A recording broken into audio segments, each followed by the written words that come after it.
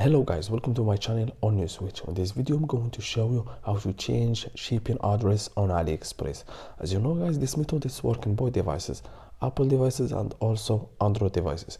It's very quick and easy so let's get started. First guys go and open your aliexpress application. Then before you're opening you need to get the last version the last update to this application. Then guys at the bottom on the right tap on your account. Then then guys your account section will appear. Then as you see guys if you want to change your shipping address or your account address then go on the top. There is icon settings icon the top on the right. And tap on this icon.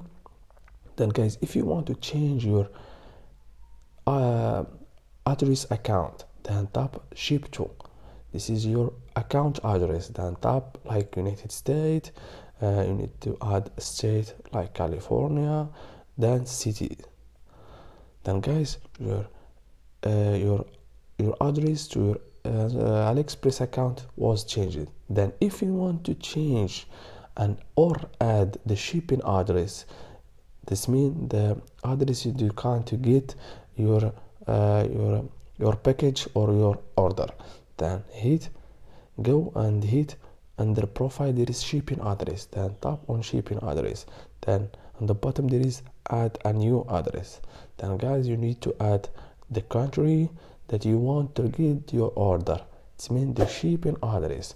Then contact info uh, then add your phone number and address. Then you need to complete and uh, complete all this all this uh, address and the, uh, the zip code is obligatory. If you want to make it as a default shipping address it's mean all the time and every your every order will ship to this address. Tap on this set as as default shipping address then hit save.